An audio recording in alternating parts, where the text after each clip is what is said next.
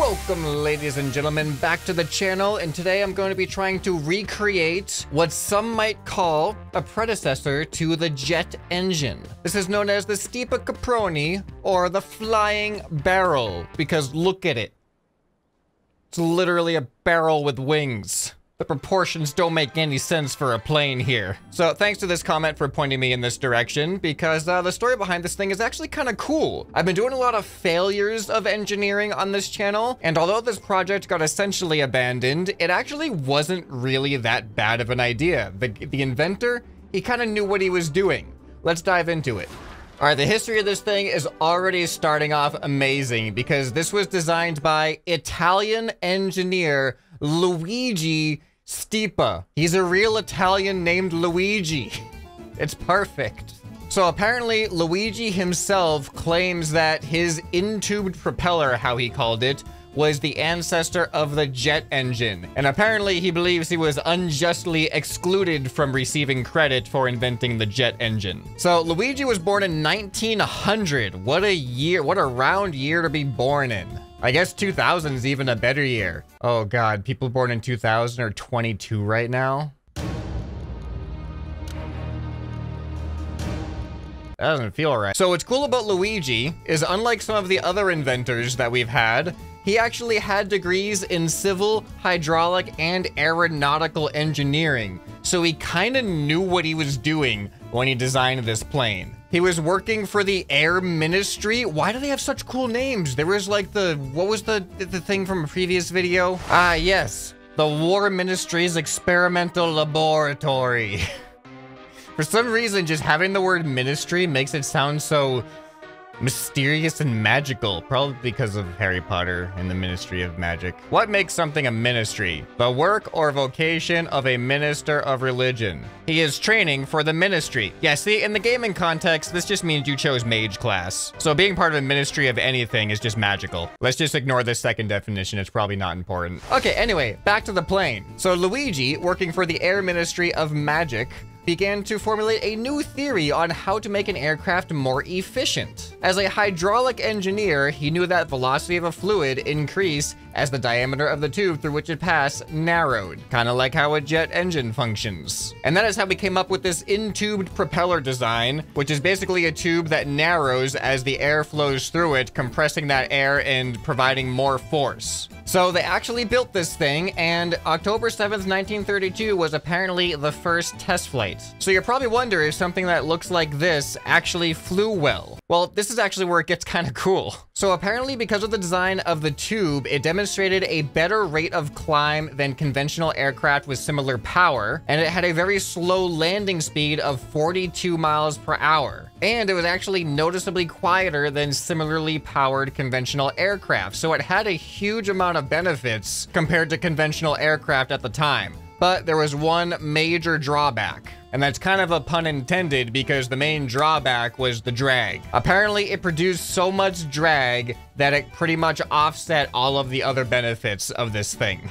But Mr. Luigi here was a smart man. He didn't design this thing as the final product here. This was just a stepping stone to test his idea, which was intended to be used for multi-engine planes, apparently, where you would have multiple propellers, and supposedly the drag wouldn't be as big of a deal if these were smaller intubed propellers placed on a larger overall aircraft instead of a tiny single-engine aircraft like this. And when you kind of imagine what that would look like, you're kind of getting to a jet airliner at that point. So I can see why he feels like he deserves a little bit of credit for essentially inventing the jet. So he ended up turning over his prototype to the Air Force, and they just didn't really develop it further. So Unfortunately, his final vision was never realized in the way that he had intended. And in 1992, which is actually two years after I was born, so we were alive at the same time. But in 1992, according to this article, he remained embittered at not being recognized as the true inventor of the jet engine. But don't worry, Luigi,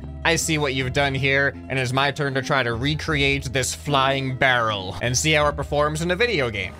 Okay, welcome back to Trailmakers. Now, uh, we do have some distinct disadvantages here. Uh, the major one being airflow does not work the same way in Trailmakers as it does in real life, so we will not be essentially replicating a jet engine concept like the original design did. Air is not going to get compressed through this tube at all because air is not being pushed through the tube. Believe it or not, this game does not have trillions and trillions of air particles to push around. Our simulation abilities are a little bit more limited than that. So another issue I'm definitely going to run into is that torque. I may have to do a double propeller with counter-rotating propellers to get rid of that torque. Because if I use these propellers, which I think are going to be really good for the scale of this thing, it's going to make it a massive flying barrel um, we are definitely going to have a lot of torque. But I'll try it with just one at first. It shouldn't be too hard to add another one later. But man, look at the size of this. This is gonna be massive for a barrel. All right, let's see how well I can create a circular barrel around this propeller now. I can't make a perfect circle, so I gotta make sure whatever I do create doesn't end up conflicting with the propellers themselves, which this looks like it might do that. All right, let's do a quick test here. Is this capable of spinning? Oh my goodness, that's so good.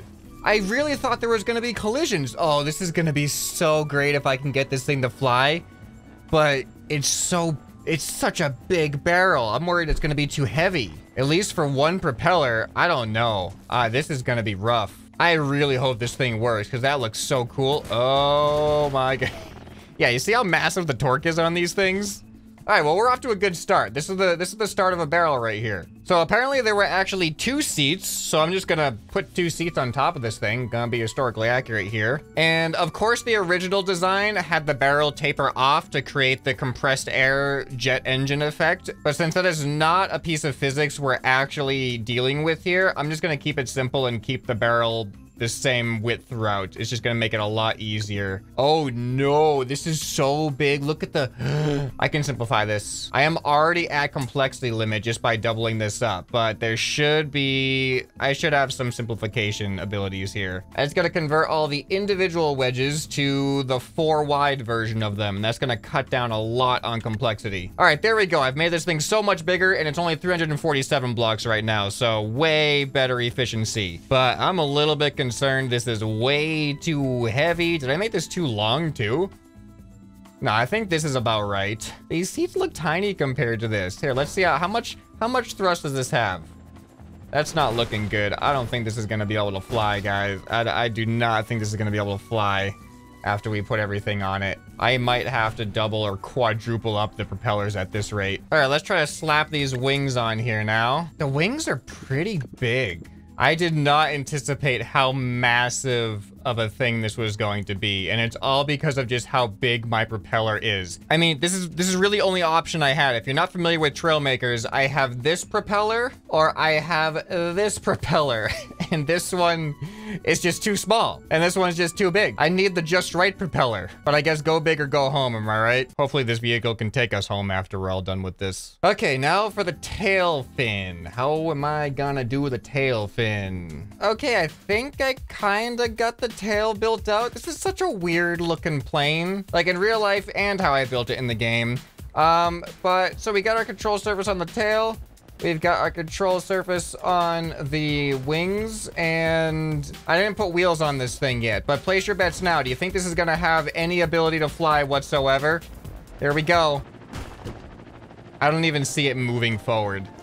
Like, all it is is torque. This is just a roll mechanism. There's no movement forward whatsoever. This thing, there's no way this thing is gonna fly in this game. the question is, how many propellers are we gonna have to stack up to get any type of performance? All right, I got two propellers that are gonna counter rotate to prevent that roll effect, I hope. Uh, and also hopefully give us some more propulsion. So let's see what happens. Uh, is there any horizontal movement at... Okay, you know what? Let's put wheels on this thing. Give it a chance to roll across the ground. I just real I don't think we're gonna get anywhere. I think this is this is way too heavy. We don't have a lot of control over the weight of our materials used. And I also don't have the advantage of compressing the air through the tube like the original design intended. But it's not gonna stop me from trying to get this thing off the ground. There we go. Look at that. Wheels. Now place your bets. Are we to get any forward momentum at all? Let's find out. Here we go. Oh, we're rolling. We're rolling. Going to be able to fly?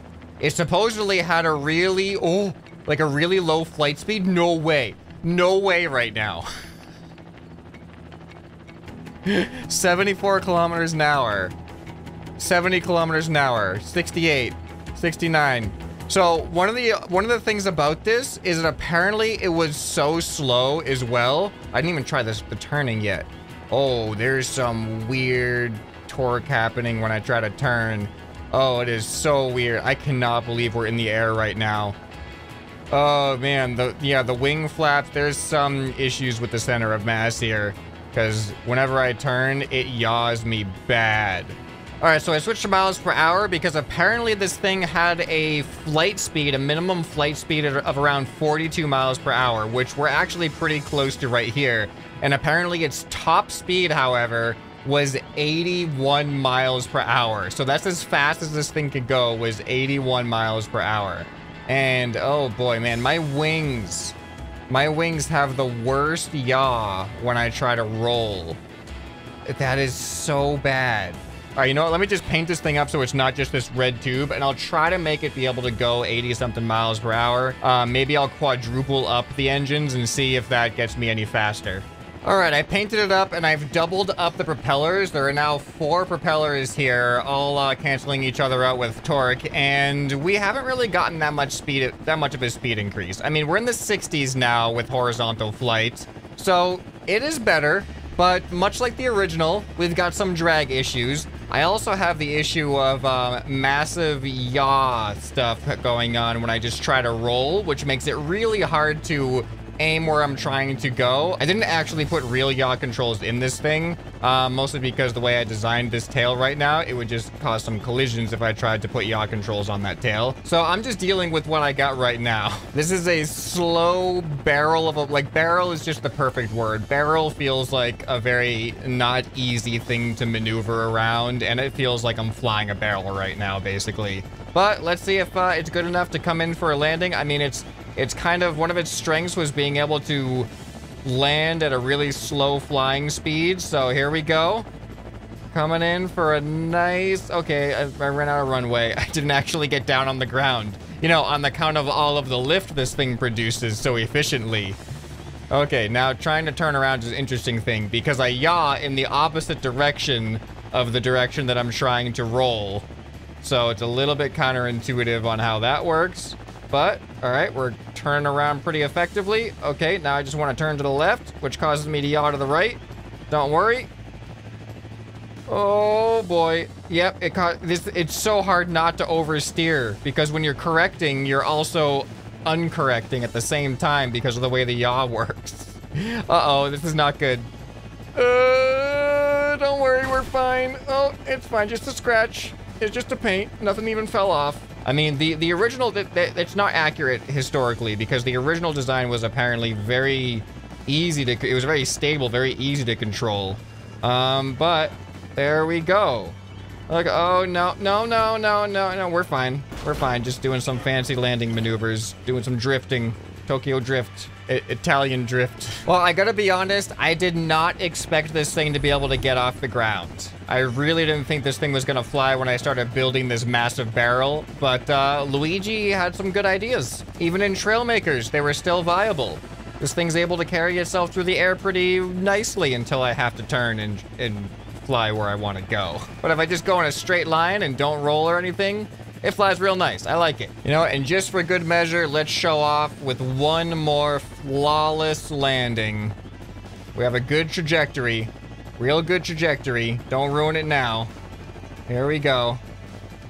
Here we go. Ooh, that was an even better landing. Very well done, Luigi. Well, there you have it. The flying barrel. It actually worked. I can't believe it actually worked. So keep those suggestions for really weird inventions throughout history of stuff you'd like to see me uh, try to recreate in video games. If you enjoyed this, you'll probably enjoy some of the other recreations I've done that you can find on the end screen right here. Hope this video has earned your subscription. Anyway, this has been Scrapman, and I'll see you next time. Bye.